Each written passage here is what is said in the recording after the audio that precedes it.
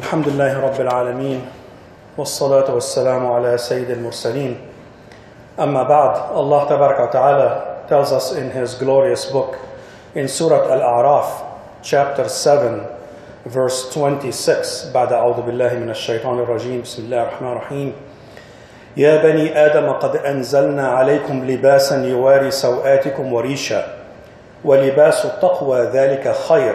ذلك من آيات الله لعلهم يذكرون O children of Adam, we have bestowed upon you clothing to conceal your private parts and as adornment, but the clothing of righteousness that is best.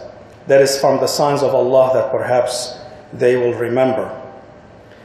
Now, this is a continuation from the story of, of Adam and Eve that I mentioned last time. Is Allah Ta'ala is addressing mankind in this verse with Ya Bani Adam.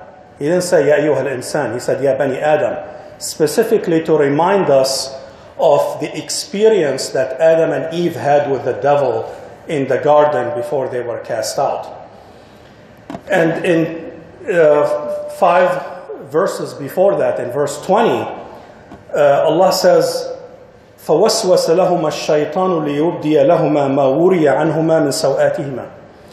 Partial, that's the beginning of the verse. But Satan whispered to them, to Adam and Eve, to make them apparent, to, to make apparent to them that which was concealed from them of their private parts.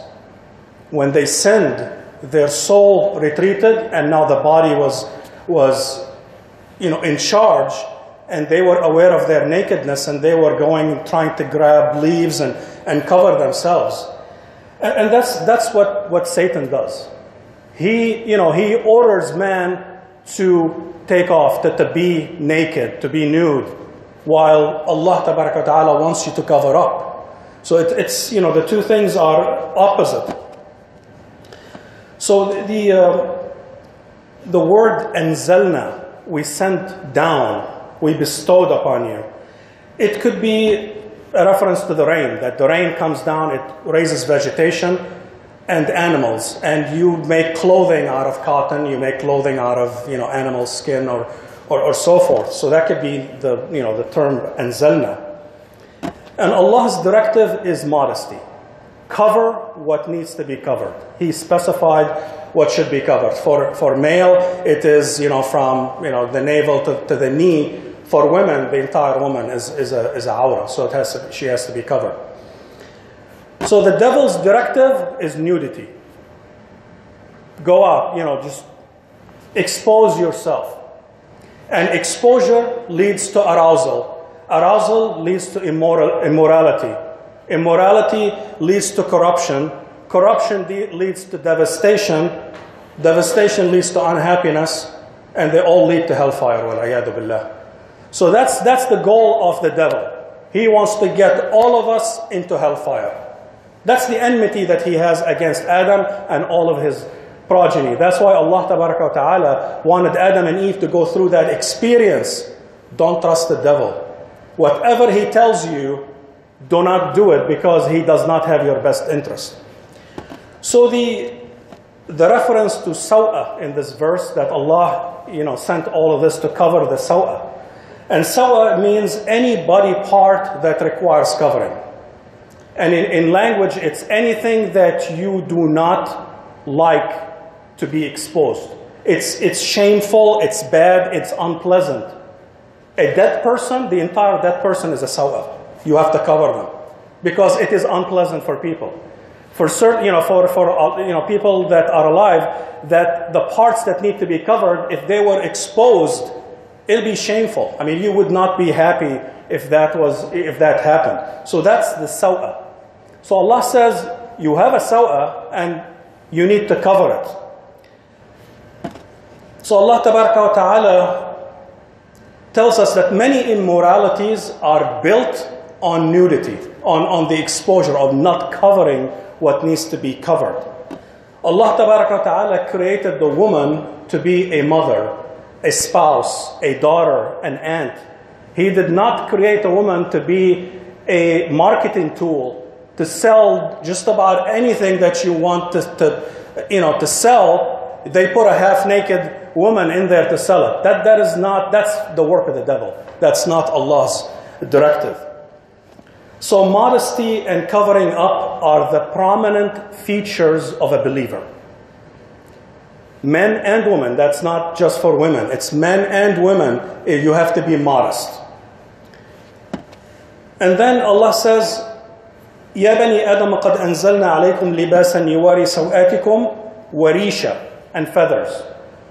Now feathers here, you know, feathers come from birds and they're beautiful. I mean, when you look at different cultures, they love feathers. You know, the Indians used to put a feather you know, you make a whole headdress of, of all feathers. It, it's a sign of beauty. It's not meant for itself. It's a sign of adornment, things that, that are beautiful.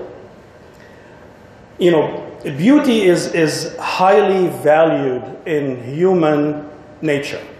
We all love beauty. I mean, you can have something as functional, you'll never be satisfied with it until it's beautiful. So, you know, this beauty brings happiness to the, to, you know, to the, to the person. It brings calm. And the verse is advising believers cover up, but make it beautiful. So it's not just functional, you have to add that, that additional component on top of it of beauty. And you may, you may wear clothes that cover, you know, cover what needs to be covered. They're dirty, they're torn up, they, you know, they smell. That is not, that's not pleasant. That's not beautiful. So Allah says, cover what you need to be covered, but have some color coordination, have, you know, nice clothes, look nice. It's not enough to cover, but you have to address that beauty aspect of, you know, of, of that. And, you know, beautifying clothes, beautifying homes, beautifying your car, there's nothing wrong with it as long as you do it according to Allah's, Allah's uh, directives. And it doesn't mean you're extravagant. Wanting a nice, beautiful home with nice furniture and nice colors on the walls and stuff is not extravagant. It's when you spend millions of dollars when everybody around you is starving, that's a different story. But money has nothing to do with, with beauty. You can, you can pick nice colors for your home, furniture that fits the decor, you know, have a nice lawn. All of these things are beauty that is pleasant to you and pleasant to everybody else. And Allah says, you know, don't just cover, make it beautiful. And unfortunately, I, I see that in, in a lot of, you know, in, at least in Lebanon where I grew up. The home is beautiful, the streets are dirty. You cannot, I mean, why do you treat the public space differently than what you treat your private space? So you have to have both. You have to have, you know, beauty on, on you know, inside your home and outside your home. So, you know, money is not the measure, it's the coordination that, that is required. It does not take a lot of money to, to pick, you know, nice colors and nice furniture and so on. So beauty is a necessity in human, in human psychology. And nobody should criticize others for wanting to have a, you know, a nice car, maybe a nice color. That's not something that, you know, that's natural. It's as long as you're not you know, being overly extravagant and wasting, and wasting money on it. You know, sometimes because functional is not good enough.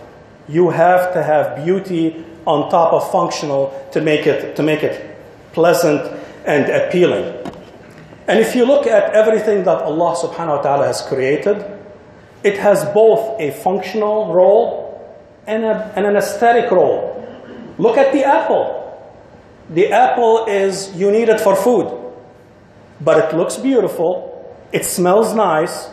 There's so much beauty in an apple that people would draw it and put, you know, put pictures and stuff. You didn't need any of this stuff because you just eat it and you want it for nutrition. But on top of the nutrition, you have all of these beauty aspects of shape, color, scent, and, and so on to bring, to bring happiness to man. Why do you think there are flowers out there? Nothing eats the flowers. Allah created the flowers so you would have, you would enjoy, you would recognize beauty and enjoy it. Because if Allah tells you there are beautiful things in heaven and you don't have anything in this world to kind of give you a frame of reference, you're not going to appreciate it. So, beauty is an integral part of the human psyche, not just functionality. So, beauty and coordination are desirable, but according to Allah's directives.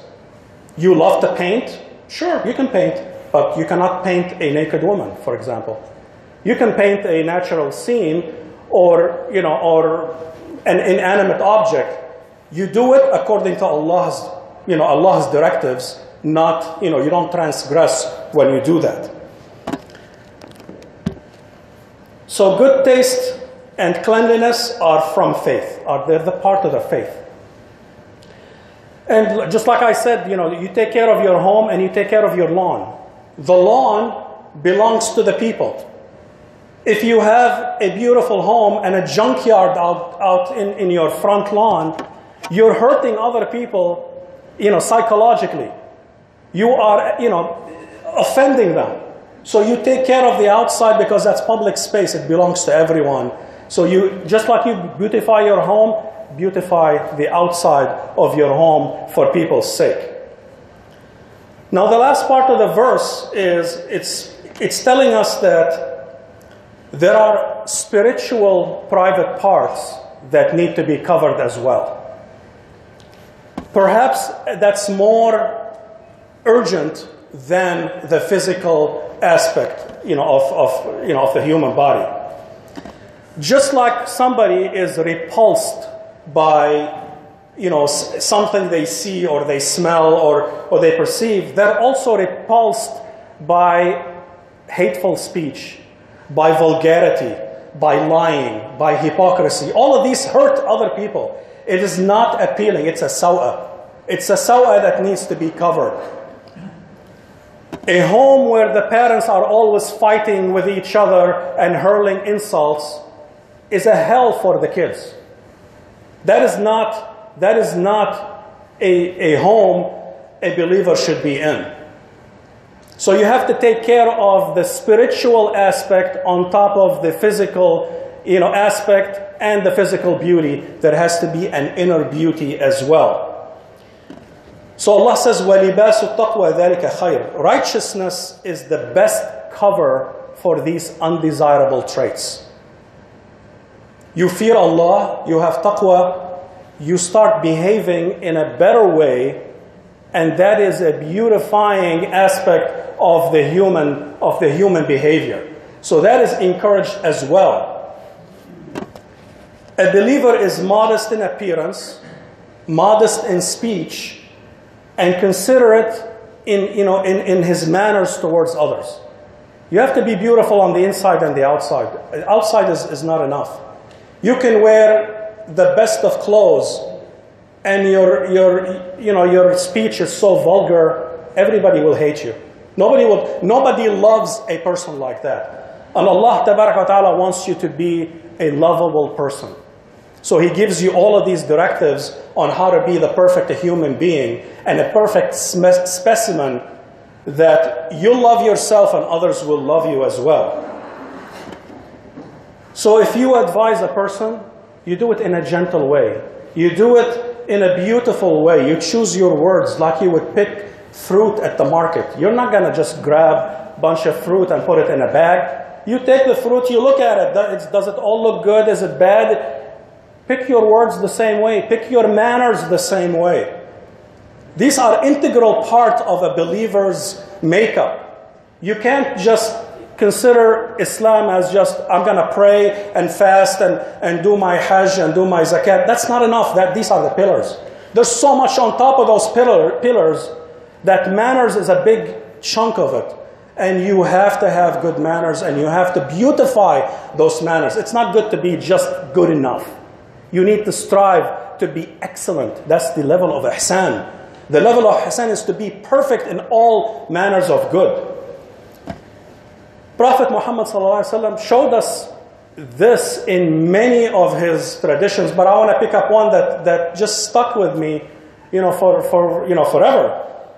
He was, wasallam, coming back from one of his battles, and you know, coming back with the army, and they were on the outskirts of Medina. He told the, uh, the, the army, stop and camp. We're almost home. I mean, uh, come on, it- it's another, another couple of hours, we'll be home. No, stop, make camp. We'll go to Medina tomorrow. In the meantime, beautify yourselves, clean your clothes, clean your bodies, and that gives time for their wives and for their families to take care of you know how, how do you like it to show up at home? The kids are you know are dirty running around. The, the house is all disheveled. What kind of a you know so sallallahu alaihi wasallam he was he was very particular about the beauty aspect of it. So he wanted the military he wanted medina to know we're there we'll be there tomorrow prepared. Sallallahu Alaihi Wasallam. How beautiful is that? That's how a believer should be. Don't just look at the basics. Look at the aesthetics part of it. Because He, Sallallahu Alaihi Wasallam, and Allah wants us to be a marker among human beings, a beautiful specimen that you stand out. You stand out in the way you look, you stand out in the way you behave, you stand out in the way you speak. That's how you're going to attract people to Islam. Non Muslims don't care if you spend all night praying and crying and, and having a spiritual, that's for you. What they see is what you show them. How you behave at work, how you interact with others. Are you using vulgar language or are you gentle with everyone? Are you honest? Are you hardworking? These are all from the perfections of your character, and it's not enough to just be do the you know the minimum that you have to do. You have to excel. You have to reach the level of ihsan. So beauty should be an essential part of appearance and behavior of a believer. Because Allah Ta'ala is beautiful. His names are beautiful, and He wants the believers to be beautiful as well, in appearance and in manners. So we have to take care of this aspect of beauty and show non-Muslims how beautiful Islam and Muslims are. That's what that's the only thing that's going to impress them. أقول قولي هذا واستغفر الله لكم فاستغفروه انه الغفور الرحيم.